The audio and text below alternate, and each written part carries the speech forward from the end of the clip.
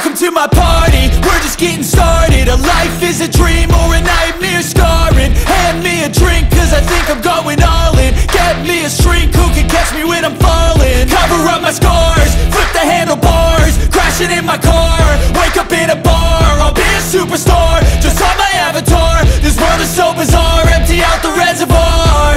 Yeah. I'm taking six shots, yeah, straight to the face. And I wanna get lost, I'm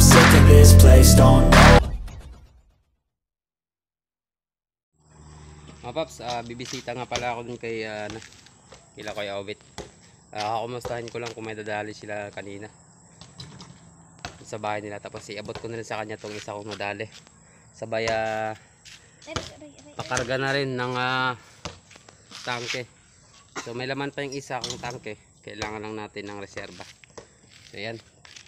Ah, may kargaan kasi sila dun. So tara mga paps. Ah, samahan niyo ako sa aking uh, pagbablog. Then ah, sa mga gusto mo pa shoutout, uh, comment lang sa comment section natin no, para ma-shoutout, ma-shoutout ko kasi next video ko. Yan yung ano, maputik yung sa tricycle namin. Ah, putik. Yan. ah, solid supporter no. Ah, silent viewers sa mga new subscriber ko dyan. Uh, shoutout po sa inyong lahat. So, maraming salamat po ah, dahil ah, lagi kayong nanonood sa aking ma- video araw-araw.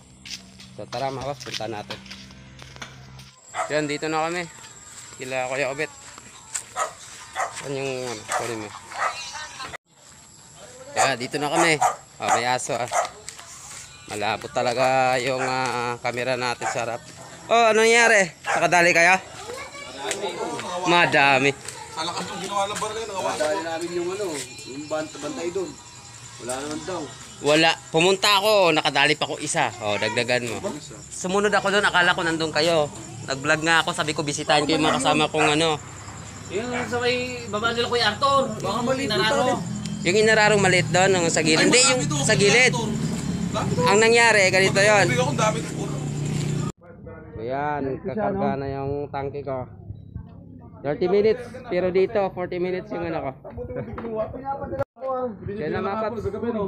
Uh, intent ko na lang yung aking uh, ano, ng 30 minutes. So, na po. Maraming salamat.